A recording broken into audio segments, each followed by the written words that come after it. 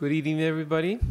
I'm glad to be back. Glad that you're all back for this third uh, lecture of the session. Um, today, we're going to have a, a, colleague and a friend of mine, Dr. Salvatore Spina, who's going to talk to us about a little bit about other diseases of the brain, other neurodegenerative diseases of the brain beyond Alzheimer's disease that can produce, that can lead to dementia, and what do those clinical syndromes look like? Uh, just to briefly review what we've touched on uh, on the previous two lectures, we've talked about sort of an overview of the neurodegenerative diseases, how uh, different disease processes that happening in the in the brain can lead to very different, dr- dramatically different clinical manifestations. Um, and through Alzheimer's disease, that was our previous lecture, we also learned that the same disease process of the brain, depending on how it affects the brain, can lead to very different clinical manifestations, right? The different variants of Alzheimer's disease. So today we're going to expand on that theme um, and talk about different diseases uh, beyond Alzheimer's. And, and, and uh, my colleague, Dr. Spina, is going to show you uh, what these diseases look like in life. And we're going to take it from there. So without further ado, here's Dr. Spina. Okay, thank you. Uh, good evening. I'm very excited about being here uh, tonight to talk to you about these diseases uh, um, uh, the problems that they, that they raise for patients and also for uh, their families, and how, as neurologists, we try to uh, sort them out, we try to understand them um, and differentiate them one from the other. So, uh, in terms of disclosure, I receive research support from the uh, NIH and from other um, private uh, foundations, but I have no conflicts related to this presentation. A brief overview of uh, the things we're going to talk tonight. So, we're going to discuss the prevalence. So, how common are these diseases in the general population? And we're going to compare the prevalence of different diseases to Alzheimer's disease. Um, and then we're going to talk about the most common ones. So the focus will be on the neurodegenerative ones, so the ones that are caused by progressive loss of neurons. Um, in the brain. And uh, uh, the one that we will touch base on the uh, Lewy body disease is Lewy body disease, which is an alpha synucleinopathy. So this is a group of disorders characterized by the deposition of a protein called uh, alpha synuclein. There's two of them. There's actually three of them, but two of them, Parkinson disease and dementia with Lewy bodies, cause dementia. There's a third synucleinopathy. It's called multiple system atrophy. Uh, it's a disease that rarely causes dementia, but it, it can to about very rarely, less than 5% of people. Then we're going to talk about the frontotemporal lobar degenerations. Um, we talk about a new topic, a relatively new topic, in neurodegeneration of aging. Uh, I say relatively new because it's actually we're talking about it for now for decades, but it gets a little bit better formalized really just a few days ago. So this is really breakthrough uh, information. And then uh, we'll discuss about, so what is the cause of really dementia? Is it uh, one disease for every person different than, than another person, or there's more than one uh, um, change that occurring in the brain, so more than one diseases at microscopic level uh, that actually uh, um, co-work together, cooperate together to cause dementia, to, to cause the symptoms. Finally, we talk briefly about chronic traumatic encephalopathy. This is one of the latest uh, pathological diagnoses, and uh, um, it is related, as you know, as you probably many of you know, to trauma, and is a, a main concern. is becoming a main concern among uh, patients coming to clinic with a history of head trauma. So we talk about how this is relevant for the general population. So um, you all have been exposed to the numbers for the Alzheimer's uh, disease epidemic. So you have heard this very large number of, uh, in terms of problems, a number, large number of patients affected, what this means for the society. Um, so the, um, the prevalence of Alzheimer's disease in the general population right now, uh, it's about almost 2,000 every 100,000 people. So uh, uh, 1,800 people for 100,000. This is basically what our estimate is based on the estimate of the number of people uh, that are um, been diagnosed with this disease. So about 5.8 million, for instance, in the United States. This prevalence is probably an underestimate, as you know, because a lot of people do not actually get diagnosed, never receive a formal diagnosis, never see a clinician. So while the total prevalence is this large number, so 1800, uh, the prevalence is actually different when we look at this toward the uh, um, the lifespan. So uh, if you look only at people who are less than 65 year old, there's actually only 72 people out of 100,000 with Alzheimer's disease. Then the number tends to go up. 65 to 74 is about 300. The largest number of patients with Alzheimer's disease are uh, in age group 75 to 84. And then the number of, of uh, uh, people affected with Alzheimer's disease actually uh, start declining, and declining for two reasons. First of all, there's less people, of course, that survive uh, past age 85. The, the uh, expectancy in our country is around that, that number. But there's also the occurrence of other diseases, the diseases of aging, that can also play a role and so lead to dementia, even in the absence of Alzheimer's disease changes. So we will start with this image, and then I'll tell you uh, why it could be wrong. but so if we have to uh, assign a single disease, so a, a, single change that occur in the brain uh, to the cause of dementia, so in, in a patient, then uh, we think that about two-thirds of all patients with dementia will have Alzheimer's disease. So That makes Alzheimer's disease the most common form of dementia. In about a quarter of patients with dementia, we actually don't find neurodegenerative changes. And uh, we think that vascular changes, so vascular changes are basically small infarcts of the brain occurring throughout life. They may be responsive to some degree of cognitive decline that we see through life, that at some point may turn into, uh, into dementia. Lewy body disease, which is the second most common form of neurodegenerative disease, is actually uh, attributed a number that is less than 10%. So one in 10 patients that comes to clinic with a diagnosis of dementia will be diagnosed with Lewy body disease as a primary uh, disorder. The frontotemporal dementias are relatively rare. There's always been uh, uh, defined as rare, but we'll see that that definition really depends on what is the age uh, of the population that we are uh, talking about. So if we think about the larger general population, then the numbers, the figures are indeed small, perhaps 3%. Frontotemporal dementia is also a condition that is largely unrecognized by, by the clinician. And so a lot of patients with, with this form of disease may actually be misdiagnosed with having other forms of diseases, with Alzheimer's disease being the, the number one. But we will see that in other uh, uh, age range, frontotemporal dementia become instead an important cause of dementia. Finally, there are uh, other diseases that are rarer that may be responsible for, uh, for uh, small proportions of cases. So we'll start with Lewy body disease. Again, this is a single entity pathologically because essentially it's caused by the uh, deposition of alpha-synuclein. And the two uh, in the brain, and the two major diseases are Parkinson disease and dementia with Lewy body. So we, want to be careful in this distinction of uh, Lewy body disease versus dementia with Lewy bodies. It's essentially not two ways of saying the same thing. So Lewy body disease is what happens in the brain, and the consequence of Lewy body disease can be either Parkinson or dementia with Lewy bodies. So the most common of these diseases is Parkinson disease. This is a condition that is relatively well known by the, by the general population. Uh, it's a disease that is characterized by very uh, easy to, to recognize uh, symptoms and, and, signs. You might have heard about resting tremors, so a tremor that kicks in while the patient is not actually doing any movement. It actually may improve when the patient is moving. For instance, and reappear once that movement is stopped.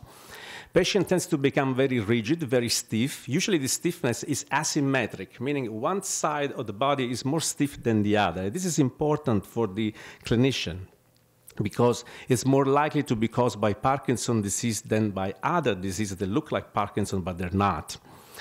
Uh, patient with Parkinson and bradykinesia, this is a term that essentially means slow movement.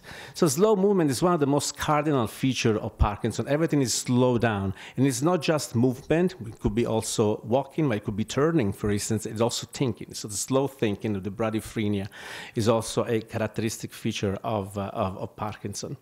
There is postural instability that usually leads uh, people with Parkinson to fall, to be prone to, to falling.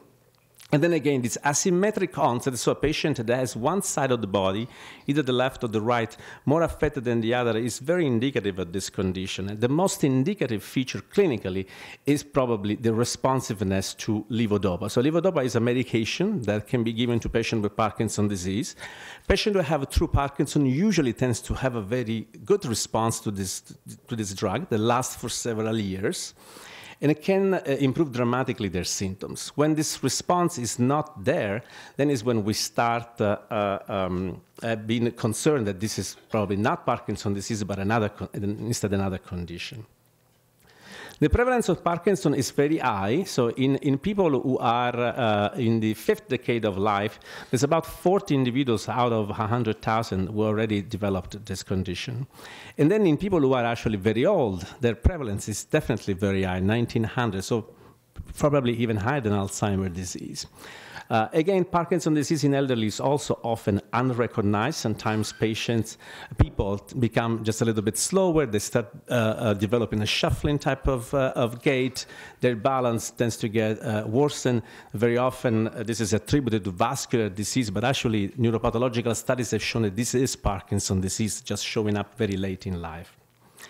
And then another thing that is not that is not very uh, uh, often told about is that Parkinson's disease is not just a movement disorder, but 30 to 40 percent of patients with Parkinson's disease will develop dementia toward their life, and the risk of developing dementia is higher as long as the patient lives. So, so, uh, so increase basically with aging. A patient with Parkinson's can live many years, and essentially, people that will survive this diagnosis for more than 20 years have more than 80% of chances, perhaps according to other groups, even up to 100% of chances of developing dementia. So, uh, why is dementia with Lewy bodies different than Parkinson's? So, the distinction is really based, as Dr. Lanata was saying before, on what part of the brain is affected first by the disease. So, traditionally, in Parkinson's disease, is the most caudal, so the lower part of the brain, the one that is attached to the spinal cord, that is affected first by the disease. And then the disease from this portion of the brain uh, start moving toward the cortex, so the brain itself. And so, from movement changes, um, we are the, the, onset of cognitive changes. In dementia with Lewy bodies, uh, the disease instead has a very high burden of pathology already in the cortex since the very beginning. That explains why cognitive changes come very early. Usually, this distinction is considered technically, at least in the research setting, to be a year. So, if patients is cognitively normal for the first year of movement symptoms, um, will be given a diagnosis of Parkinson's disease. If instead the cognitive changes occur during the first year, sometimes prior to the movement changes, then it will be given a diagnosis of dementia with Lewy bodies. The distinction is important for many reasons to know what can happen later, and also because the management of patient with these two different conditions is actually different, meaning we use different medications, and we have to be more cautious with the use of one of other medications according to what is the correct diagnosis. To give you a sense of what a patient with dementia with Lewy body disease experience, um, there is usually uh, complaints about attention, a deficit of attention, a deficit with uh, uh, task execution. There's also profound visual spatial deficits, so the patient have difficulties with moving in the space, they get disoriented, but also have difficulties with uh, uh, understanding spatial relationship. There is uh, the presence of characteristic cognitive fluctuations. These are like dramatic changes in the level of cognitive functioning of, the, of these patients that can occur even within a day or from a day to another. So these patients may look very uh, somnolent, inattentive, unable to follow a conversation early in the morning, and then all of a sudden look much more bright and much more attentive a few hours later. And then they can go back to this um, status of hypersomnia, uh, uh confusion, uh, inattentiveness. Visual hallucinations are very common and probably one of the symptoms that uh, clinicians pick up very soon as indicative of this condition. Visual hallucinations in dementia with Lewy bodies, but also in Parkinson are uh, typical. Patients experience the presence of, uh, of somebody, of, of a person or, or, shadows, for instance, in the room, very often behind their, their head, what we call extracampine hallucination. Meaning these images, these things that are not there, but they're perceived as real, are often somewhat outside of the visual field. They cannot be, they cannot be followed. So the patient will turn their head looking at the shadow behind, and they will be gone already even before he can realize that there was somebody or not. Sometimes the hallucinations involve uh, seeing people, sometimes involve uh, seeing uh, uh, uh faces or, or, or, little animals. They may be more or less complex. Some of them are perceived as frightening, some others instead are perceived as non-real and, uh, and some, sometimes even somewhat peaceful. Some of these patients report, for instance, seeing deceased um, relatives as a result of, of these hallucinations. But sometimes they may be very, very bothering and difficult to, to treat. Both conditions share a, uh, a, phenomenon that's called the REM sleep behavior disorder. This is essentially another way of talking about the dream enactment. So when we are in this particular phase of sleep, REM, the one where we have rapid eye movements that can be seen underneath uh, uh, the eyelids, we usually dream. And so, uh, evolutionistically, uh, we have a system that basically makes us completely paralyzed. So, the, the muscle tone is completely uh, eliminated, so that we cannot move, we cannot follow our dream, and we are prevented from the danger that that can, uh, can trigger. So, patients who do have dream enactment are at risk for alpha synucleinopathy, almost all of them. And this is a very typical in patients with body disease, but it can also be a risk factor for, for Parkinson's disease. Eventually, this, the motor signs of Parkinson's disease develop in all patients with uh, uh, dementia with Lewy bodies, but tends to be less typical. So these patients usually have less tremor, but appear a lot more rigid, for instance. Um, so uh, the prevalence, as I said before, is about uh, 7%.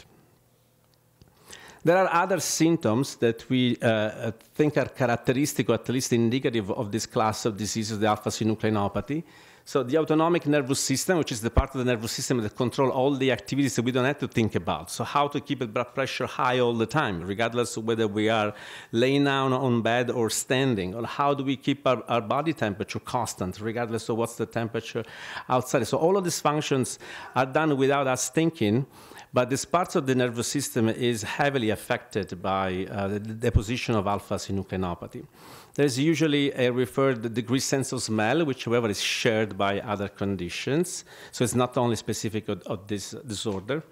Seborrheic dermatitis, which is a, an, inflammatory condition of the skin, usually is a response to increased secretion of sebum, um, is a risk factor for the alpha-synucleinopathy. So there is a higher uh, incidence of, uh, of this disorder in people who also have seborrheic dermatitis. And then often patients with alpha-synucleinopathy uh, suffer of uh, severe anxiety, depression, um, and then we know about the diminished tone of voice, the decreased facial uh, expression, and very often also of delusional thinking. So these delusions may be of all sorts, um, paranoid delusions, for instance, or also of other type. So this scheme, this scheme uh, again sh uh, show you uh, what I was mentioning in terms of you know the, the disease look like based on uh, what parts of the brain is involved, and uh, usually in classic Parkinson disease, you know the the medulla is the first part of the brain that is affected. So this is a, a center of autonomic uh, um, regulations. And then progressively the disease start uh, um, involving more rostral portion of the brain. There are centers here that control mood, for instance, so the anxiety, the depression at this point kicks in. And then when uh, uh structures like the midbrain are involved, that is when the bradykinesia, so the slow movement, uh, the rigidity eventually is manifested. Eventually, the disease spread all the way throughout, giving rise also to the cognitive symptoms and the, and the dementia.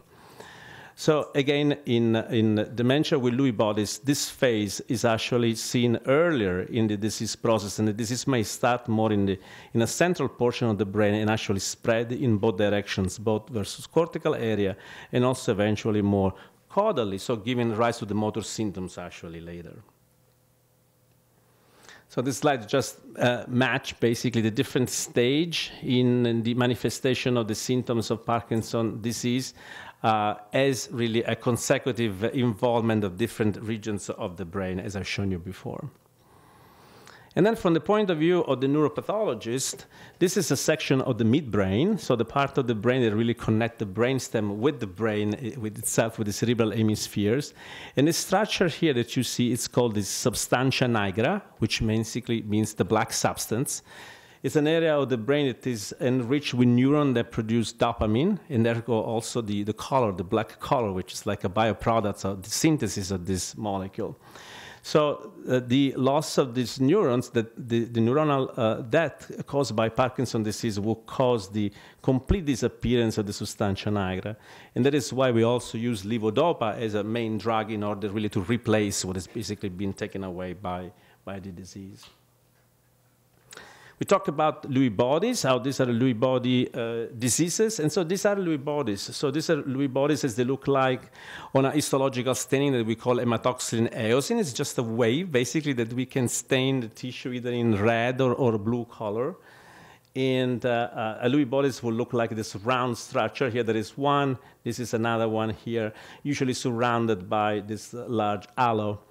And then if we stain the tissue with antibodies directed against a specific protein, in this case it would be alpha-synuclein, we can see that these structures indeed are made of alpha-synuclein, so confirming that indeed these are Lewy bodies. So this is how the neuropathologist eventually will make this diagnosis on the brain when examining the brain post-mortem.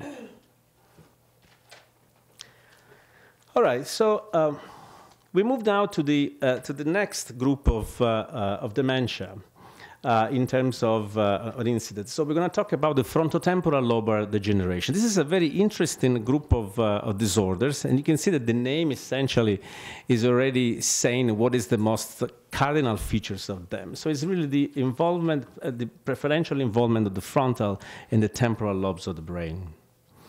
I give you here a picture of the brain, the brain postmortem. So this is the frontal lobe of the brain. This is the temporal lobe. And then you have the posterior regions of the brain, the parietal portion of the brain, and the occipital lobe all the way here posterior. So you, you can see that there is a striking difference in how, uh, on, on, the extent of shrinkage, really, technically, of, of the brain tissue in the frontal portion and the anterior portion of the temporal lobe. You see that it's opening up a little bit. You can even see more deeper structure here while this normal would appear, would not uh, occur, while the posterior regions of the brains are uh, better preserved. So this is a strange disease that, uh, even though causes dementia, doesn't affect the brain as a whole, but affect preferentially this anterior portion of the brain as opposed to the posterior ones. So these are very old diseases, and the first description of this very peculiar way of causing dementia was given by Arnold Pick back in 1892. So Pick was uh, uh, a neuropathologist working with, uh, with, with, Alzheimer, and um, it basically show, uh, identified this very peculiar uh, set of cases in which the brain just didn't look like an Alzheimer one. So there was not in atrophy, so a, a reduction in the volume of all regions, but the, these two regions, the frontal and the temporal lobe, were selectively involved, while the rest of the brain was looking pretty much uh, unaffected. It was actually Alzheimer's disease that defined the term Pick disease. And uh, he did it because uh, when he examined the first cases of this brain, um, uh, observed that there were not neuritic plaques. And you have heard about neuritic plaques from the talk from Dr. Nassan. So there were not the classic features of Alzheimer's disease. So these were indeed not cases of Alzheimer. And instead, there were these very rounded and silver stained uh, um, structures that he called uh, Pick bodies in honor of Arnold Pick, who actually had, had found the disease. So the term Pick bodies is actually uh, created by uh, Alzheimer, and the name Pick disease is also um, uh, picked by, uh, by Alzheimer disease. I have to say that even nowadays, so uh, many years later, the term Pick disease is used as a, a synonym of frontotemporal dementia. Um, so for the clinical presentation, and also as a, a, synonym of frontotemporal lobar degeneration, which is the process that happens in the brain of people with this type of disease. But this term is actually, this association is actually improper. So we will see in the next slide the Pick disease is only one type, uh, and not even the most common type of the frontotemporal lobar degeneration. So although many clinicians still use, and in general uh, term, this term is still used as a synonym of frontotemporal dementia, the two things are actually, are actually distant. So how often is frontotemporal dementia? So the proportion of cases is actually very low. So compared to 1,800 for 100,000 cases of Alzheimer's disease, on the same population of 100,000, there's probably no more than 50 cases of FTD. Again, this number may be uh, strongly underestimating the real prevalence. This disease is difficult to uh, diagnose sometimes, and the clinicians are less exposed or even less educated in, uh, in, in training. Um, so the number may be a little bit higher, but definitely uh, the proportion is much smaller than that of Alzheimer's disease.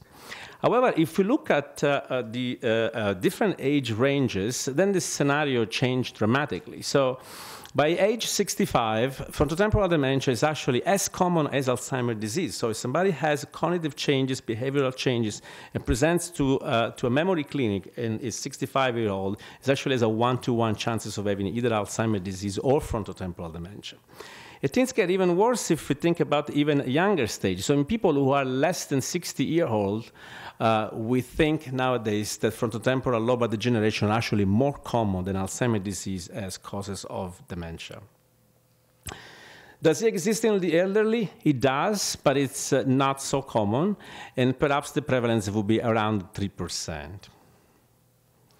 So we're going to talk first about the syndrome. So you remember the distinction and Dr. Lanata uh, have presented since uh, lecture number one. One thing are the syndromes, so the symptoms, the reason the patients come to the clinic. Another thing is finding out what's happening in the brain. So let's look first at the syndromes. So under the umbrella of frontotemporal dementia, which is the clinical presentation of people with frontotemporal lobar degeneration, there are at least uh, uh, three canonical uh, syndromes. One is called behavioral variant frontotemporal dementia because of the predominant behavioral aspects of the clinical presentation, which are actually much more severe than the cognitive ones. So patient behavior is much more affected, for instance, than, than memory or other, or other cognitive functions. And then there are two variants that affect instead language. So we call them the language variants of frontotemporal dementia. One is called semantic variant, and the other one is called non-fluent variant. And once again, frontotemporal lobar degeneration give us again a confirmation of that on the fact that it's really where the disease is mostly causing damage of the brain that will lead the clinical presentation. So, uh, in patients who have profound atrophy of the uh, insula, the cingulate gyrus, the, the, prefrontal cortex, the clinical presentation will be that of behavioral variant FTD. In patients who have anterior temporal lobe degeneration, the clinical presentation will be that of semantic variant, um, PPA. And in patients who have a predominant degeneration of uh, the uh, structures that are related to language, mostly language production, uh, the clinical presentation will be that of non-fluent variant frontotemporal dementia.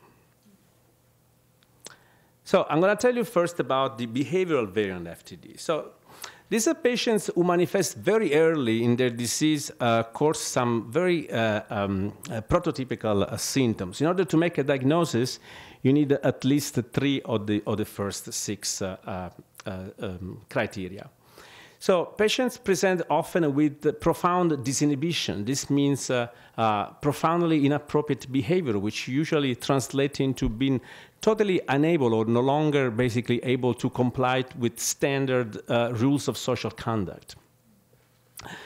They otherwise may present with profound apathy or inertia. That means that they will be uh, losing interest. They will be losing any initiative on doing things. This can be people who are very socially engaged, very active, very productive, uh, and then all of a sudden start seeing all of their interest completely fading away. So what, what before was very important, getting up in the morning, going to work, paying bills, uh, interacting with the family, all of a sudden become not interested, absolutely not necessary.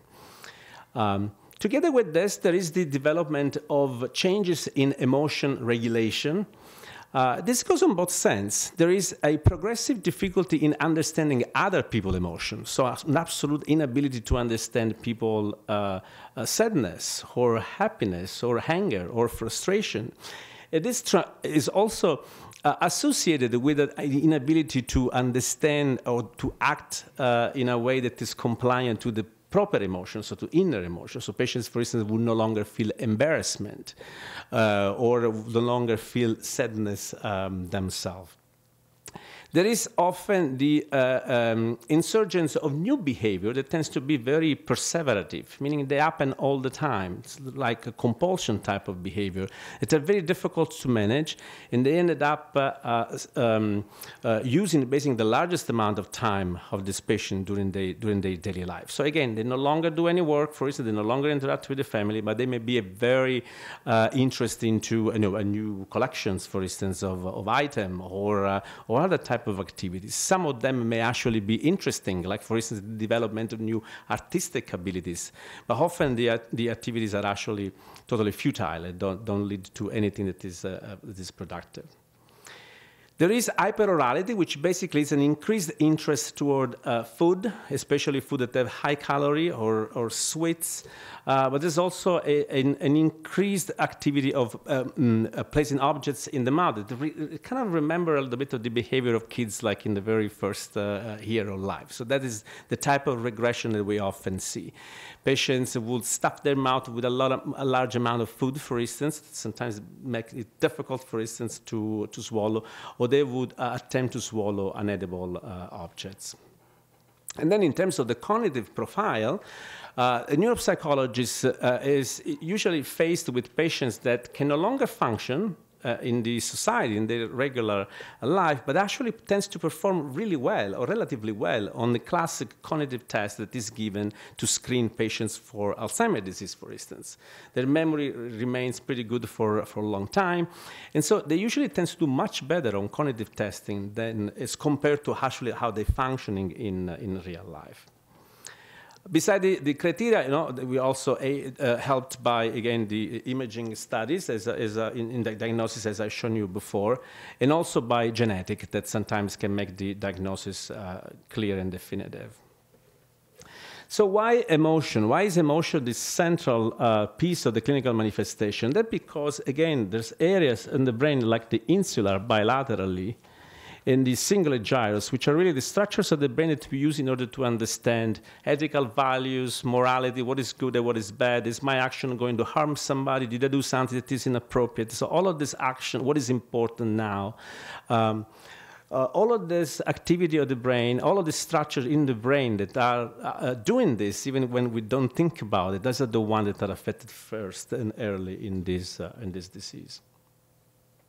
So these are just some examples of emotional deficit, but the list really can be very long. So uh, these patients big, uh, lose concern for loved one uh, illness. They sometimes develop a cruel type of, uh, of behavior toward uh, um, children, toward animals, toward elderly. Very often this can result into uh, issues with law, for instance. Um, there are, they are, tends to be prone to, to rude comments uh, uh, to others. More distinctively, there is this loss of interpersonal space. Again, the entire scheme of the general rule of social conduct that we learn, you know, through, through childhood, gets somewhat uh, um, um, lost.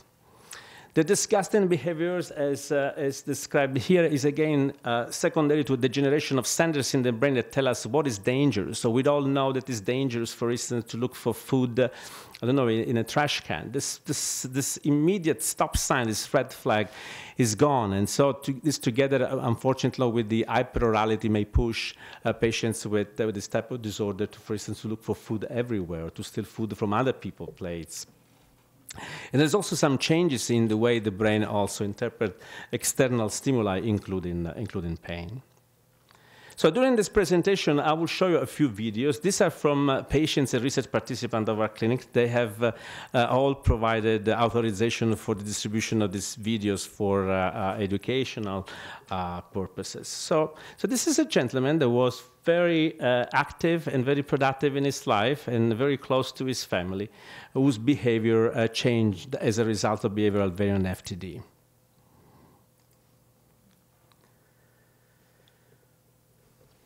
We never go the first Sunday of the month because that's communion. And our communion, you walk down front, and as you walk down the aisle, okay. everyone was greeted and back rubbed and asked where they were from. And it was just very disruptive. Oh,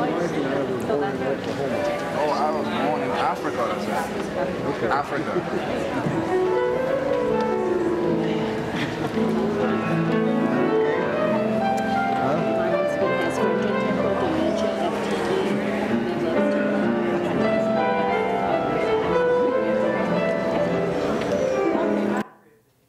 So obviously, this is a behavior that we would expect again on a kid, so, uh, but also motivated and triggered by what we call utilization behavior. So if a stimulus is in front, in this case, it will be like the hair of the person sitting just in front of them. There's almost this magnetic attraction and the complete loss of the social conduct rule, right, that should have uh, uh, impeded that. Here I give an example of the ritualistic behavior, the compulsion developed by uh, this patient. This is where Bob keeps all his possessions, his coins, and his wallet, and he always has a pen in his book. And then he keeps his figures for his aunts.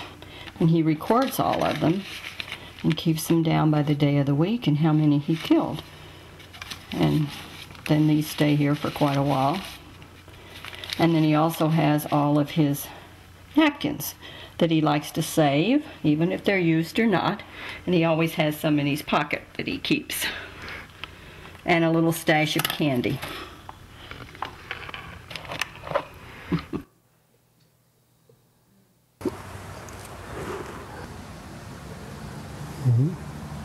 Nine, ten,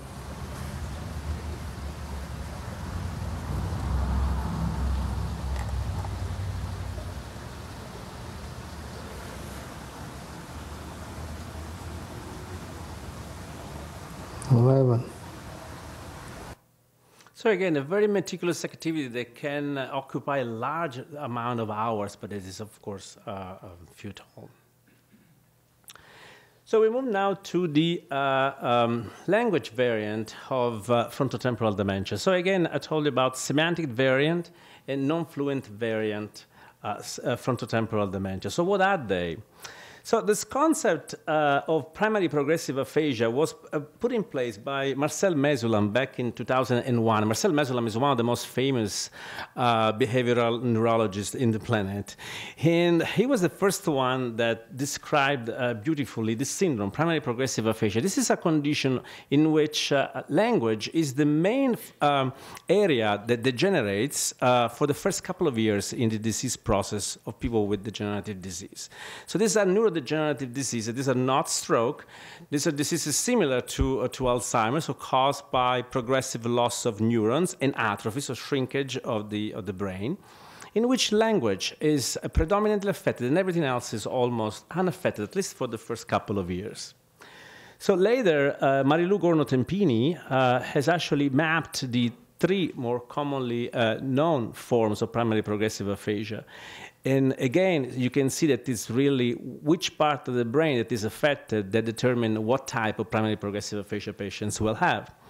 So the one that relates to frontotemporal dementia, are the one in blue, semantic dementia, when the degeneration is mostly in the anterior temporal lobe, right here.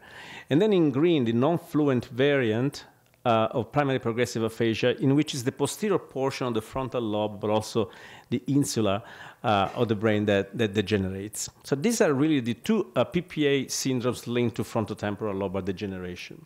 There is a third form of PPA, which is called logopenic variant. You might have heard about it uh, from the talk of Dr. Nassan. So this is one of those focal forms of Alzheimer's disease, or logopenic variant PPA is almost invariably associated with uh, Alzheimer's disease. But the other two are actually two forms of frontotemporal lobar degeneration. So in semantic dementia, again, there is a, a profound and early degeneration of the temporal poles. We have two of them, one on the left and, and one on the right. And semantic dementia is essentially caused by the degeneration of the anterior temporal lobe in the language dominant cerebral hemisphere. So language is a lateralized function in the brain, meaning it's only it's predominantly on one side of the of the brain. And in the majority of us, in the majority of the population, is confined to the left side. So if the left temporal pole undergo neurodegeneration, semantic variant PPA develops. The most striking features of this disease is impaired confrontation naming. So what does it mean, confrontation naming? It means basically showing to somebody a picture or an object and simply asking for the names. So the very first symptoms is the uh, progressive loss of name, of the ability to name things. So this is called anomia, also neurologically. But in this particular condition, semantic dementia is just is even more than just a difficulty with the name. Is mostly actually the loss of the word meaning. So when a patient cannot come up with a name, it's not because he knows very well what it is, what that object is, he just cannot retrieve the word. He has actually lost the concept of that specific object or that specific word. And this becomes more severe initially, early in the, the disease process for words that we use less. So things that are more common are the last ones that would disappear. Names that, that we use more commonly will be the last one to disappear. Names or words that we use less frequently will be the first one instead to disappear. Together with this loss of meaning for words, there's also a loss of meaning for objects. So sometimes patients are presented with an object and they're unable to, uh, to tell what it is or what is the function of that. There is the development of a new symptom called surface dyslexia, so this has uh, little to do with the classic dyslexia that we are used to, uh, um, to, to, hear about. And it's instead the phenomenon of uh, uh, enunciation of specific words when these are phonetically irregular. So what is a word that is phonetically irregular? Is a word that basically, in order to pronounce it correctly, you need to know how this word sounds. You cannot just rely on the, on the letters on the screen. So this is a word that's pronounced carnal, but you really have to learn that this is carnal and not colonel. So a patient with semantic variant PPA may find himself actually pronouncing these words as colonel as opposed to uh, carnal. And this is actually a syndrome that is more commonly seen in language that have irregularly, irregular phonetic words. My language, for instance, Italian, is very few of them, almost none. So surface dyslexia is very difficult to, to assess just because every letter is pronounced essentially the same way. English is the perfect language instead to, to assess this type of, this type of problem. So if uh, this comes in somebody who's in a second, uh, uh, uh English is second language, you want to be a little bit careful. so uh, there is usually spared repetition. So even though the patient may not know what they're saying or what is the meaning of the words, they're actually able to repeat even a very long sentence. So they may not know exactly what's in it, but they can repeat it without mistakes. And usually grammar is also spared. So they don't make, pro- they don't make mistakes either when talking or, or when writing they usually become very verbal. So one of the typical characteristics of patients with semantic dementia is their verbosity. They're hyperverbal, and this is one of the reasons uh, that we call these forms of PPA a fluent aphasia. So it's fluent for two reasons. There are not difficulties in the enunciation of words; it's the words' meaning that are lost. And secondly, there is also this increased production of, of speech that is sometimes a sign. So these are also examples in which we can elicit this disease in, in, the, in clinic. So we can ask patients, for instance, to draw animal. And here we start seeing that you know, a dog is drawn overall in a okay type of fashion. And then we move to a cat, and you know we can still recognize you know the structure of an animal, you know, with a head and four uh, legs. Uh, but for instance, we're missing like characteristic features like the ears of the cat that are definitely different than the one of the dog. And then we go to less frequent uh, draws, like for instance that of a bird, and it starts looking like something that still has wings, but it doesn't really look like a bird. And if we ask for a fish, it doesn't look that different anymore than, than actually a bird. So one thing that patients do with semantic variant is they will always they would tend to use, especially at the early stage of the disease, a word that belongs to the same category, but it's just more frequent. So if you show a picture of a lion, for instance, you may not remember lion, but you can tell you that it's a cat. Then the disease progresses. They would just the answer may be just it's an animal, and then the disease progress, and then at this point there is nothing else that can be uh, linked to that specific image. So I'll show you here an example so this patient is presented with pictures and is asked to name them. Um, it's some kind of a bed. What do you do with it?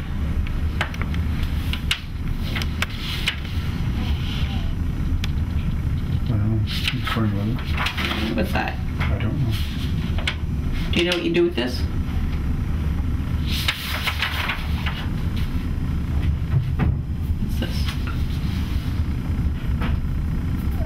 Looks like some sort of a, a, a dog.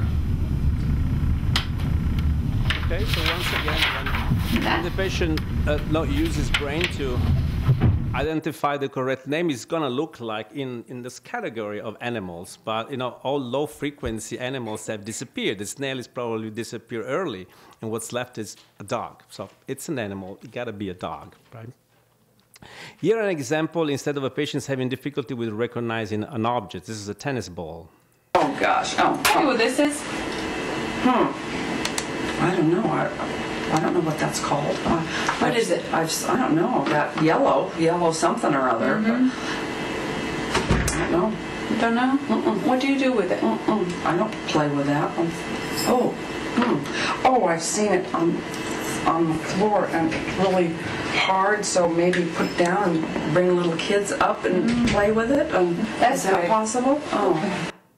So you see the patient again is unsure about what it is. He call it with a color instead than with the proper names. Colors tends to be retained for longer time in, in this disease. And then another interesting phenomenon for us, you see things get a little bit clearer when she can actually feel it, when she actually touches. So she's using other uh, old memories, let's say, information read. How does that feel? So that feels like a tennis ball. So now that she touched it, the information actually comes back, but she cannot no longer just uh, rely on looking at the image of the tennis ball. So this disease is interesting because when it affects the non-language dominant hemisphere, which more often is the right side, so the right temporal pole, they actually present a little bit differently, and it present more similar to a behavioral variant FTD. So behavioral symptoms are a lot more uh, evident if the, the right temporal pole instead of the left is affected. That's just because the symptoms of language are less prevalent. That's the only reason, essentially. So, um, there are, uh, however, other features. So the temporal pole uh, uh, retain um, semantic information, so the meaning uh, of the information of faces. So this patient sometimes can recognize acquaintances, um, f- uh, friends, uh, but they have difficulties recognizing a face that is symbolic. So if you show them a picture of Marilyn Monroe, you can say it's a blonde woman, but doesn't know what they represent. The same for Einstein or, or anybody else. So we show them pictures of famous people to understand if they can give us more information than just you know, the image, the, the, the physical detail. What does it represent? Uh, they tend to have an increased interest toward uh, words and word games. This is probably a release type of phenomenon. So the left temporal lobe is now left alone because the right is degenerating. So it cannot do a little overdue. That's what, we think may happen. So uh, these people becomes very interested toward games that involves words. They start uh, reading, for instance, obsessively billboards or uh, um, or uh, car plates. And and again, the word search games become very very significant. and sometimes affect many hours of their of their day. They tends to become rigid in terms of personality, very stick to a very uh, rigid schedule. It is always the same, should not be uh, disrupted. Again, with a lot of stereotypic behavior, and often look cold, distant. Sometimes this can be the very early sign of the disease. It can lead to interpretation like an antisocial type of behavior that can translate into a lot of problems in the work environment, in the family, so raising a lot of issues before the correct diagnosis is actually made. Another feature that we often see in patients with right temporal lobe FTD is hyperreligiosity. So they become, the patient may become much more interested into spirituality. Sometimes they embrace new religions. Sometimes the spirituality is totally new. So in people who never expressed this feeling uh, before, and it become again. Um, overimposing, so pervasive. So it's not just a new interest, okay, but it's something that become predominant, the only thing that these people may be interested about during uh, during their day. Okay, so these are the characteristic feature of semantic variance. So now we're going to move to the second type of uh, uh, language variant frontotemporal dementia, so the non-fluent variant. So as the name uh, says, this is a condition in which the most distinctive problem is that of enunciating speech, so actually talking, so being able to uh, translate this idea of words that we have in our mind in uh, a, a word that we can actually tell people. Um, there are always uh, a disruption also of the uh, linguistic rules. So usually there is a profound agrammatism, so a lot of grammar mistakes, both in speech and in, and in writing.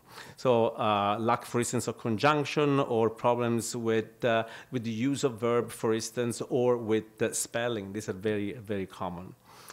Most importantly, again, the speech become very effortful, uh, very halting, and there's a lot of sound errors, a lot of distortion that can be perceived uh, uh, very, very easily. Interestingly, the comprehension of, uh, uh, of, complex sentences is actually impaired. So it's very difficult for this patient to understand a very long and complex sentence.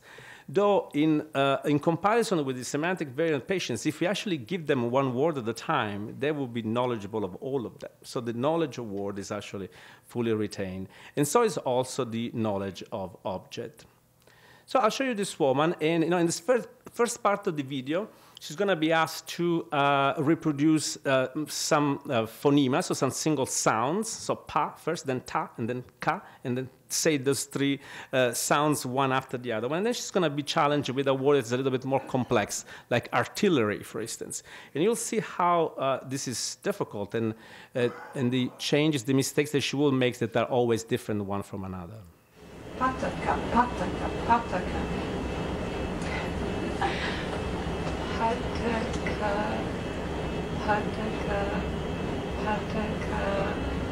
Artillery. Artillery. Artillery. Artillery. Artillery.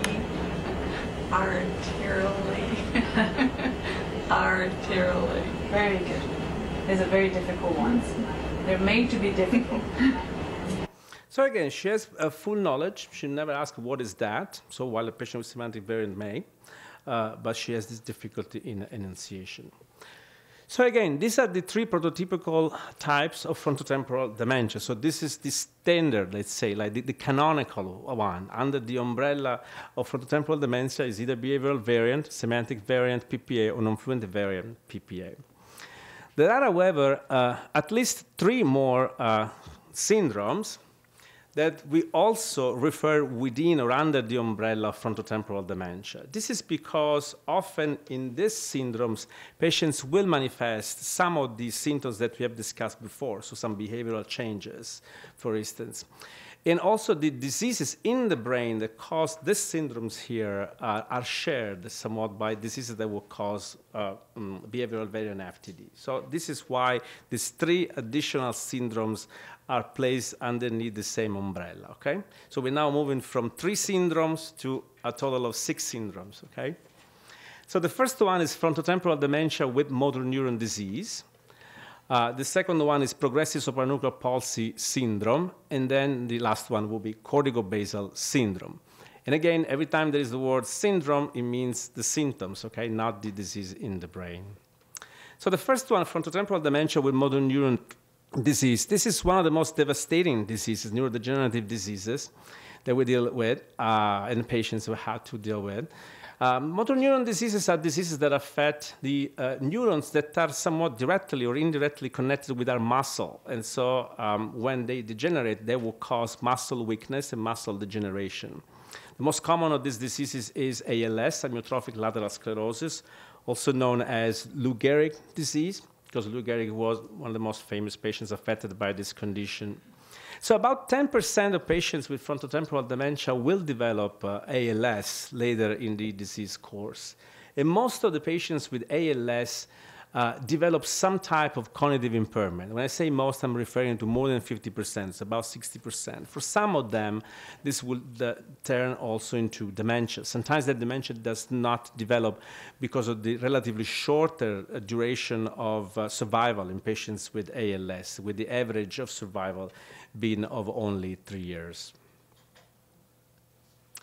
The second of the syndrome is progressive supranuclear palsy syndrome. It's also known as Richardson syndrome. This is a disease that looks a lot like Parkinson's disease, but has some distinctive features that make it noticeable for the clinician relatively early. So these are a, uh, very early complaints of recurrent falls. So these are usually patients whose very first symptoms is a fall, followed by another fall, and again by another fall. These are usually initially you know, one fall every three months, then become falling once a month, falling once a week, falling several times during, during the week. Falls are usually um, not triggered by, by particular uh, stimulus. So initially they're, they're attributed to tripping to an object, but in, in, instead it becomes very clear that these are problems really with, with balance.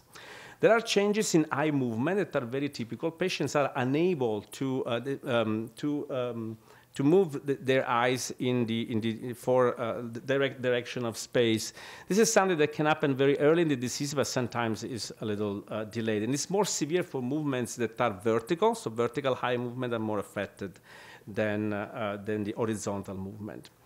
There is rigidity, like in Parkinson, but this tends to be more axial. So instead of being one arm or one leg that is more rigid than the other, which is usually a good sign for Parkinson, meaning this is probably Parkinson, so it can be treated, it will last longer. Patients tend to be rigid mostly at the level of their skeleton or their neck are more likely to have a progressive supranuclear palsy syndrome, which is a disease that usually had the uh, uh, reduced duration and no treatment uh, at this point. So the most distinctive feature is really the lack of responsiveness to levodopa. So even in spite of large doses of levodopa, there is no improvement of the motor uh, symptoms. Cognitively, this patient tends to be mostly dysexecutive, so they have difficulties with uh, uh, task solving, task understanding. So um, there is increased impulsivity, and there is a characteristic uh, uh, disruption of the sleep pattern. Patients are unable to reach deepest stage of sleep. It's as if they were in a shallow stage of sleep, essentially uh, overnight, which make them also less cognitively performant. The last of the syndrome is corticobasal syndrome. So this is a condition, again, also similar to Parkinson. Is uh, uh, similar to Parkinson in the sense that is uh, often asymmetric, so the manifestations actually are more obvious on one side, either the left or the right of, of the body. And, uh, but the, the, features are different than, than Parkinson. So there is rigidity, but there is also dystonia. Dystonia is an abnormal uh, muscle tone regulation that involve the tone of more than one muscle. So uh, a series of muscles usually that regulate the position of a specific joint in space. So it can be the, the, the, wrist, for instance, it can be at the finger, it can be the arm at different position from the shoulder to the elbow down. So the patient will tend to acquire a position of, of, their arm that is abnormal. Sometimes it's closer to their chest or, or not functional. There is usually myoclonus, which is the presence of jerky involuntary movements. They may be either spontaneous or sometimes uh, triggered by, for instance, uh, uh, tactile stimulation. Patients develop incoordination of movement that involve both the mouth, so the oral apraxia, and the limbs, so the arms. So if they have to reach for an object, for instance, they overshoot, or they will be unable to, uh, um, to execute a series of actions that is the proper for the goal that they are trying to achieve. There are other features that basically tell us that there are other parts of the brain involved. We call them cortical sensory deficits. Among those, essentially, there is astereognosis, which is the inability to recognize an object just from touching it, even though without looking at it. We're all able to say this is probably a cell phone or this is a key, uh, but this is an ability that get lost, that, that disappear very early in patients with CBS. The same thing, patients are unable, for instance, to tell what type of numbers or letter we are pretending to write on their, on their palm. So this ability to see with eyes closed, essentially, just uh, relying on sensation is lost early in the disease. And then there is a strange phenomenon, it's called alien limb phenomenon, as you can see, is basically a phenomenon by which the uh, limbs, usually an, an end or, or, an arm, starts moving on its own. So while the patient is not planning to execute that action, an action, for instance, like arm levitation, uh, the arm does levitate while patient is doing something completely different. Sometimes the alien limb phenomenon is oppositional, meaning the arm that is affected may try to oppose the function of the other one. Sometimes the other one is actually the good one, meaning the, the one where like movement is still retained and but uh, is um, uh, unable to actually execute correct movement because of the alien limb phenomenon from the other side. So I'll show you a, uh, a, a, video. This is a patient with a corticobasal syndrome who also has non-fluent variant PPA. So you will see uh, movement abnormalities while a language is tested. So you will recognize the deficit of non-fluent variant PPA. In, uh, uh, in the background, you will also see the movement uh, disorders uh, related to corticobasal syndrome. Artillery. Could you say five times for me? Artillery, mm, artillery, artillery, uh, artillery, artillery, um, artillery. Um. So you can see that the right uh, uh, arm is held on a dystonic posture. You can see the, the position of the arm overall position of the finger, the wrist is not normal, is, is, not, is not natural. And then the left arm is moving a lot, and you will see that actually at some point it will start doing things that are actually not in the volition of the patient and are positive toward the right side. Great, well done. Should we try another one? Impossibility. Very difficult one. Impossibility. You See the end going all the way that side to the left. Should we try another one? Now grasping the right. Catastrophe.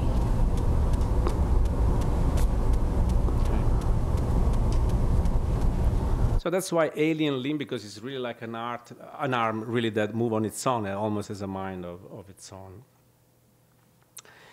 So, so we have now uh, seen all the six uh, cardinal syndromes that are under the umbrella of frontotemporal dementia. So in this slide that you've seen before, uh, you have on top the six uh, different clinical syndrome within the spectrum of frontotemporal dementia.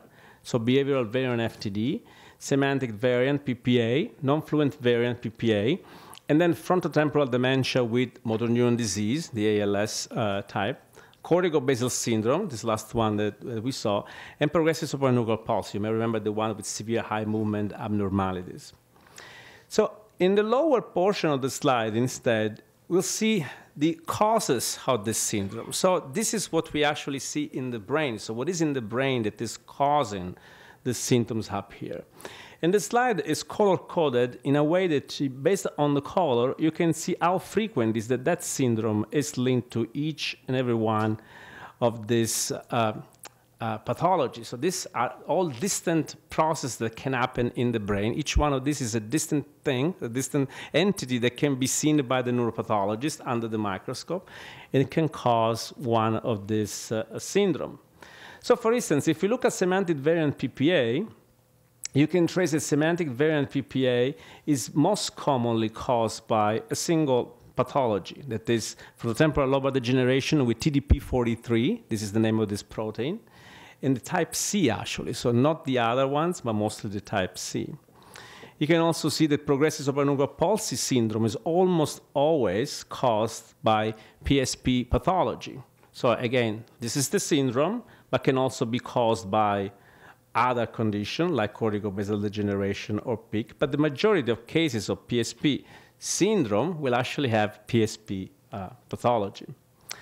You can see that why in some cases this association is almost one to one. For instance, if a patient has motor neuron disease, is probably going to have like a 99, 95 to 99% of the times is going to have uh, TDP43 pathology in the brain. So for some of this, uh, clinical pathological correlation, the correspondence is actually pretty strong. So a neurologist can guess uh, in, a, in, a, in, a, very educated way what the neuropathologist is going to find eventually at autopsy. This is important because in the end, when we use medication both to treat this condition or to prevent this condition, we actually need to know what's happening in the brain, regardless of what the symptoms are. So the symptoms are useful just to recognize the process that is happening in the brain. But the, our ultimate goal in clinic or also for clinical trial purposes is actually to understand what's happening in the brain. Is this a dysfunction of tau or is this a dysfunction of TDP? Because this will be very different, so we, will have to treat them very differently.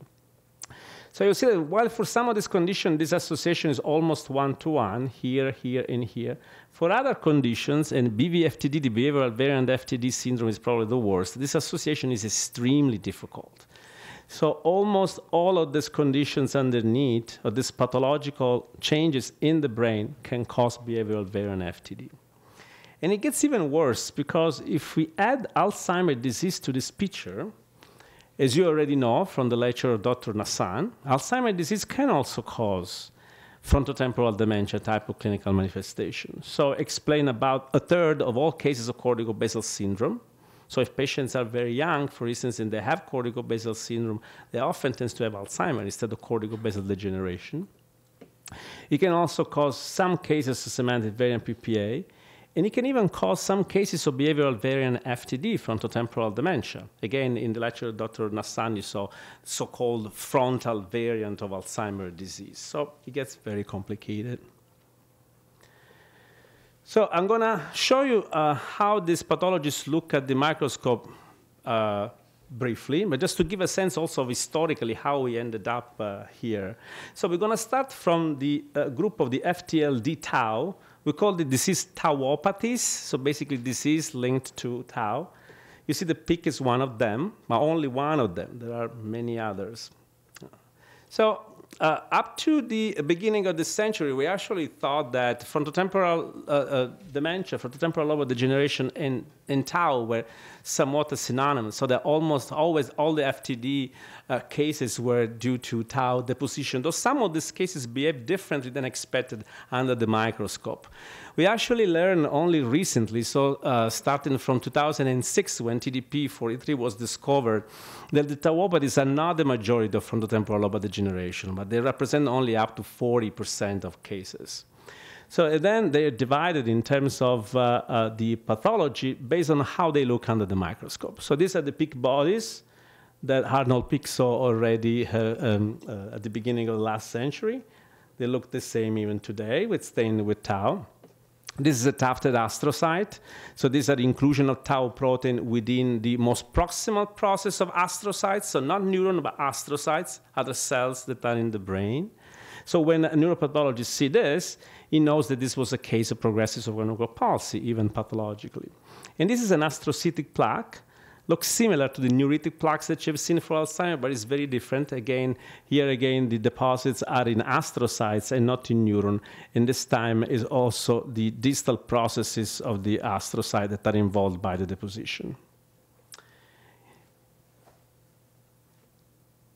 So we move now to the FTLD TDP. So again, TDP43 was only discovered in 2006, but we now know that 55% of cases of FTLD are caused by the deposition of this protein.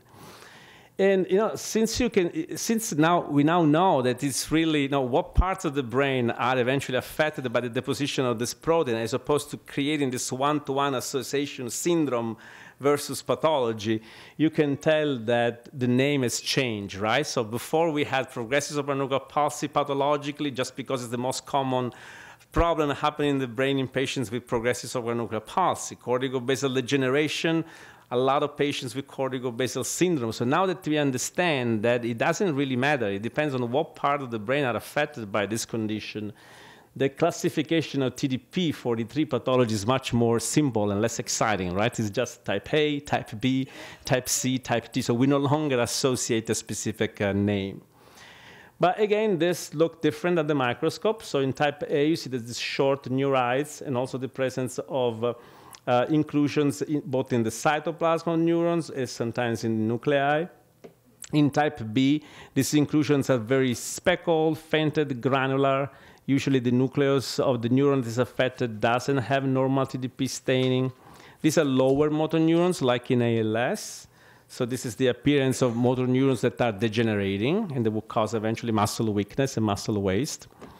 This is probably the most useful for us. So when a neuropathologist see this figure, so the presence of this very long dystrophic neurites staining with TDP43 has a 95, 99% or probably more chance that this was a case of semantic variant PPA. This is very the strongest one, one-to-one.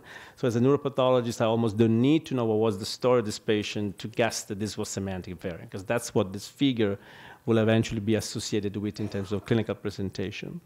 And then there is a very rare type D, which is associated with a genetic condition that also affect the bones and the muscle. But it's much rarer. We don't have any case actually in our brain bank here at San Francisco. Finally, the last group, the FUSopathies. These are the, the, the one that arrived the, the last. It's less than 5% of cases of FTLD. Some of these forms are genetics, and when they're genetics, they also cause uh, motor neuron, uh, so ALS symptoms, motor neuron degeneration. Uh, some cases are sporadic instead. Uh, the presentation is that of behavioral variant FTD, but usually with very early age at onset. Okay, so uh, I'm going to talk now briefly about these last two points of my talk. So one is, again, the neurodegeneration of aging, so this very latest uh, finding. And late is actually the name that, uh, that received, and what is the meaning uh, for dementia in the elderly. and then the chronic traumatic encephalopathy. So remember we talked about this TDP-43, the 55% of all cases of FTLD, right, of frontotemporal lobar degeneration. Well, it turned out that after we found this protein and we uh, learned how to stain, how to look for that in brain tissue, TDP-43 is actually a lot more common and can be seen even in cases that have not frontotemporal lobar degeneration, but can have any other disease, like Alzheimer, for instance, or Lewy body disease, or even not having any of those. This is why we call this disorder limbic predominant age-related TDP-43 encephalopathy, or LATE. Again, this paper was published just on April 30th. So when this happened, basically, there is deposition of TDP-43 in structure that are uh, limbic, in the limbic structures of the brain, essentially in the hippocampus, uh, in the cingulate gyrus, in the amygdala, so in structures that are also heavily affected in, in Alzheimer's uh, disease. And we found it up in 25% of uh, cases in autopsy series.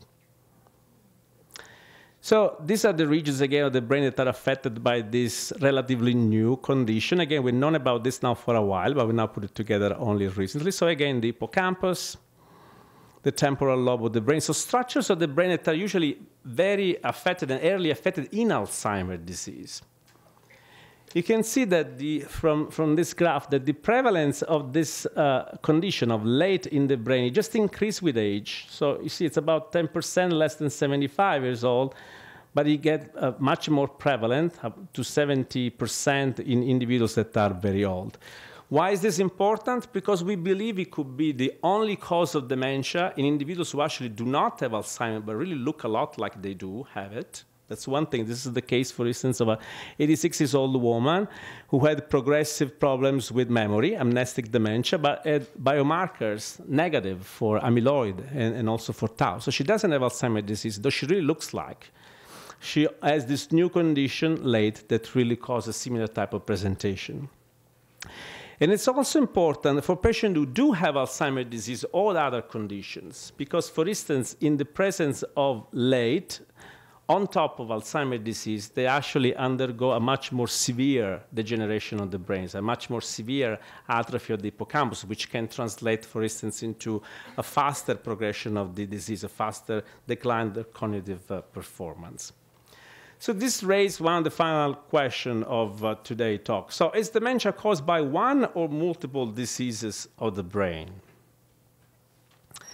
And the answer is that this is actually uh, is probably caused by the co-presence, the coexistence of multiple diseases. So this is a, uh, a study done in, uh, uh in a community dwelling course of patients in Brazil and led by Lea Grinberg, who is a collaborator here at UCSF, that shows that, uh, as you can see, uh, it's very common that you can find not just a single disease, but eventually two or three or four, and even more. And the presence of more conditions in the same brain of a person with dementia tends to increase, the number tends to increase with the, the increase in age. So similar concepts were actually uh, uh, presented also by another group that uh, Virginia Lee and John Trojanowski in, in another uh, paper just a few months ago. So to give you just a, uh, an example, so this is, for instance, Alzheimer's disease cases. So you see all cases with Alzheimer's disease, 100% of them have tau, deposition and also beta amyloid. But you see that 41% to 55% of cases also do have alpha synuclein. Uh, 33 to 40% of cases also will have uh, a TDP43 pathology. And the same is true for each and every one of the other categories of diseases that we taught today. So for instance, uh, in tauopathies here, 100% of them have tau, but it also tends to have alpha synuclein in a proportion that varies, 7 to 22%, and also tends to have late, 24% for instance in CBD, or 16% in PSP. The same in TDP43 pathology, the, the same in alpha synuclein pathology. So while there may be a, a main, a predominant disease that drives the clinical presentation, there are actually more than one disease in the brain uh, that is occurring at the same time. This is something that we need to keep in mind when we treat, uh, when we treat patients. So some patients may respond better than others. Or maybe in order to prevent dementia, we have to treat more than one disease at the same time. So this table, for instance, tells us in a study done at Rush University on a research participant who later developed cognitive impairment and underwent autopsy, an estimate of what was causing the dementia, what was contributing to the dementia. So according to this study, to this report, only 40% of the cognitive symptoms were attributable to Alzheimer's disease but the remaining 25% were attributed to the vascular changes. So these are important to know because these are things that we can change. So at this moment, we almost have nothing to prevent neurodegenerative diseases, perhaps with the exception of physical exercise and social engagement. But we do have a lot to protect ourselves from this 24% if we keep our blood pressure below certain limit, if we avoid diabetes, hyperlipidemia, if we do exercise a lot, if we don't smoke. Late it plays a very important role that is almost up to 20%. It could even be higher than, than, than what we know. And then there's also the alpha synucleinopathy, which role is probably half of that for late. Finally, uh, what's, what's chronic traumatic encephalopathy? So you might have heard about this condition as the condition of the NFL player. So this is a disease that seems to be very high in prevalence in people who have been exposed professionally to contact sports and have had a lot of uh, uh, uh, traumas, so repeated, repeated concussion. It's a disease that's caused by accumulation of tau uh, protein in the brain. So, but what are the real numbers? So, uh, a recent study from Anne McKee has shown that this condition is present in almost everyone who has been like an NFL player, just regardless of the development of cognitive symptoms, so 99%. And that the highest risk factor is indeed the presence of multiple repeated head trauma. The disease can present essentially in two ways as a, behavioral syndrome with increased irritability, explosive, aggressive behavior sometimes, profound depression that often leads to suicide. This is actually how the disease became uh, actually under, under investigation in the NFL court. But very often, it can also present late in life as a memory disease, as a memory problem. So, an amnestic syndrome this is essentially indistinguishable from Alzheimer's disease. So if a patient comes to clinic and has a history of a head trauma, very often they say, is it possible that that trauma is now causing chronic traumatic encephalopathy? Is it possible that because of that motor vehicle accident, that fall that I had, for instance, 40 years ago, I'm now developing CTE instead of Alzheimer's disease, even though things look alike? Well, the answer is that if you have a history of contact sport participation, and this doesn't matter whether it is professional or not, then you have probably a risk of having CT in one out of three people who have that history of repeated trauma. The counterpart, however, is that if there is no history of repeated uh, concussion, repeated head trauma, not only sports, but also, for instance, exposure to blast, this is important for our veterans. So if there's not uh, uh that history, the presence of this condition is almost zero. So it almost doesn't exist. So it's even in patients who actually do have a history of a significant head trauma. So a single significant head trauma is a risk, is a risk factor for developing, a uh, uh, developing dementia later, is a risk factor also for Alzheimer's disease, but it's not directly associated, as we know now, with chronic traumatic encephalopathy. For that, you need multiple, hundreds, thousands of repeated uh, events that occur like uh, for many years. So I'm finally to the, to the last uh, slide. So uh, Alzheimer's disease is indeed the most common forms uh, uh, of uh, um, cause of dementia throughout the lifespan, but it's not the only one. Frontotemporal dementias are as common as AD in people who are 65 and more common than AD in people who are younger than 60. So they need to be recognized. They also affect people at um, a time in their life when they still may be very active, and so there is a much uh, larger set of implications. In older adults, dementia is very unlikely to be caused by a single neuropathological process. The rule is actually is that very often we find more than one diseases, and the number of diseases increase as older the patient, uh, uh, the patient gets. So the likelihood of developing syndrome is really uh, linked to that number. And finally, uh, chronic traumatic encephalopathy is a, uh, is a new condition, but this is very important for people who are exposed to repetitive trauma especially contact sports again and, and blast, but it's unlikely to represent like a serious threat for people who have been exposed to single head trauma uh, in life. All right? Thank you so much for your attention.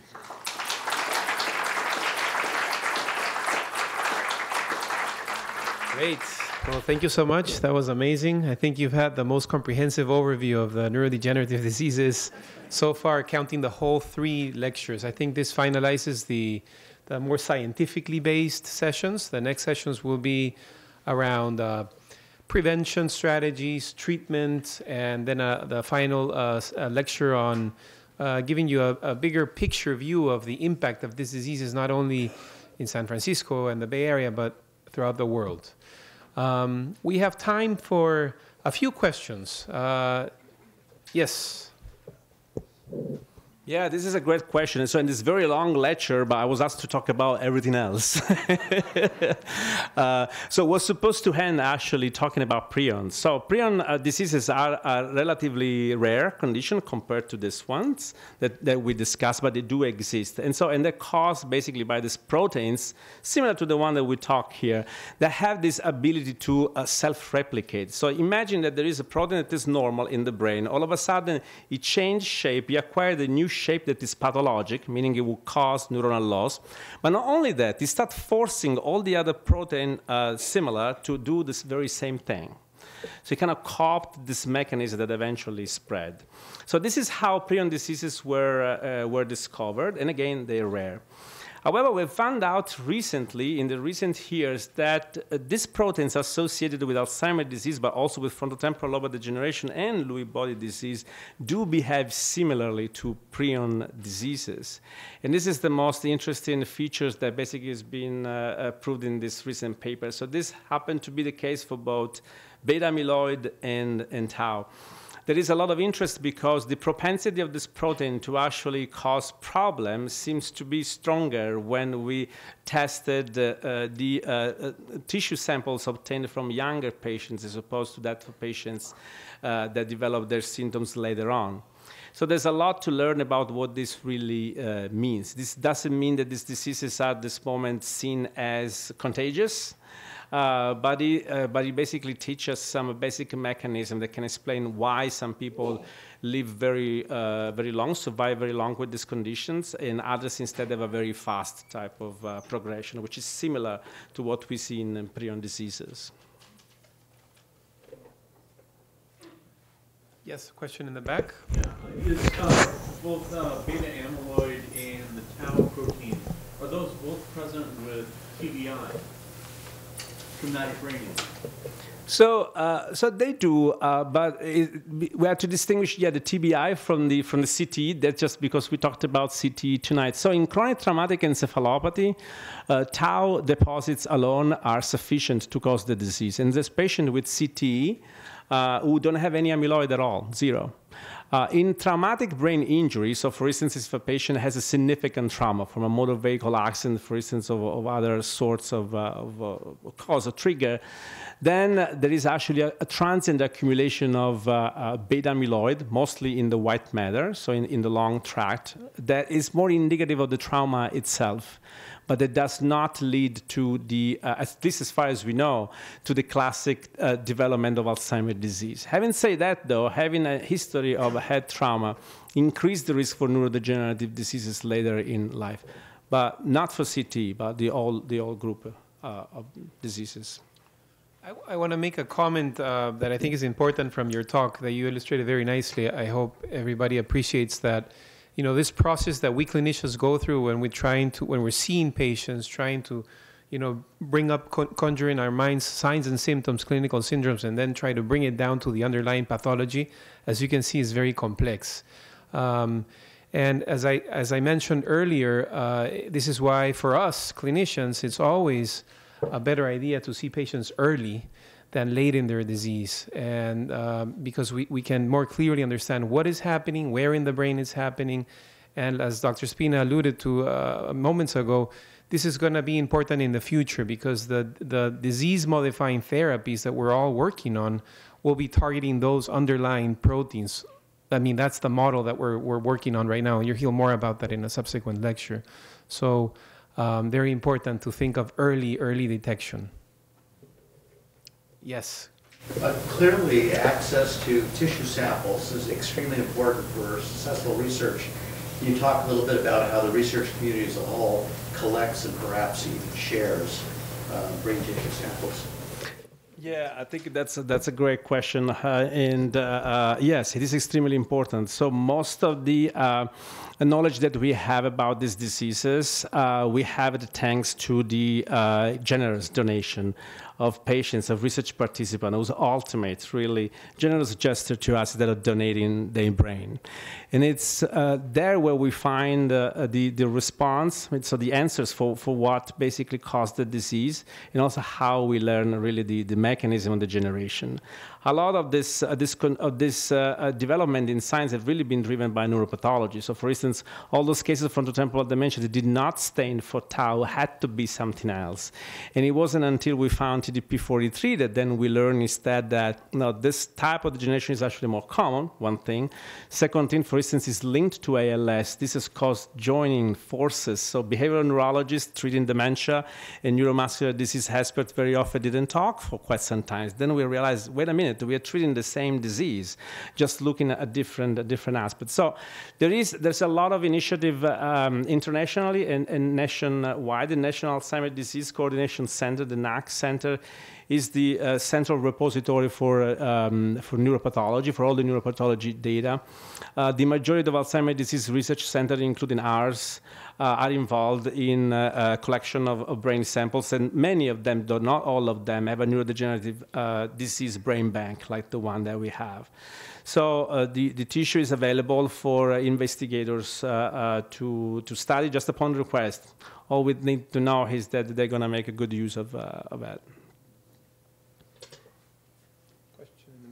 Yeah, I'm curious, uh, given the symptom, symptoms for the various diseases can be difficult to distinguish, are you making use of any of the AI diagnostic tools to sort of help you decide what particular variation of a brain disease you're looking at? Hmm. That's a great question. Uh, not at our center, um, but I'm sure somebody's thinking of it. I mean, more broadly for medicine in general, that's a, a, hot topic for sure. How, how do we use AI to better diagnose, to be more precise about diagnoses? uh, interpreting data, but not in our center. I don't think anyone is. Yeah, so for, for clinical purposes, we're not there yet, but that's probably going to be the future. But uh, in terms of research, there is a lot of interest toward that. So there's uh, several collaborators uh, in, uh, in our group at the Memory and Aging Center that are actually trying to do this. So in using different type of approaches. Sometimes a completely uh, a prioristic and biased approach, meaning you, know, you present a computer like a 10,000 scans and you ask them to classify them according to disease. The machine surprisingly does a very good job, but of course, I mean, very often it will tell us just one disease, for instance. So you will not have those nuances of looking at, okay, what else is beyond the first, uh, um, uh, the first disease that is causing the, the symptoms. So yeah, I think those approaches will become a lot more popular uh, in the future, and very very soon they will translate also into clinical practice. I think. However, you know, our, our visits with patients are usually very long. So our, new patient visit sometimes varies from a standard two hours to a lot more. And that because it takes a lot to elicit those, those symptoms. Sometimes you can have a conversation that lasts like an hour and a half until you run into an asparagus and a patient who say, what is an asparagus? so it, it, requires a, a lot of, of, patience. And uh, um, I don't think that we will ever have a world that, that will be like clinician free or free from, from the direct contact. Really, most of the diagnoses are, uh, are done by, um, by the patient, the way he presents, interacts with us, and a lot, a lot by their families and their caregivers. We'll pick each and every one of these nuances. We just need to remember and have the time basically to check all the marks. So that's, that's why the visit tends to be very long. Thank you.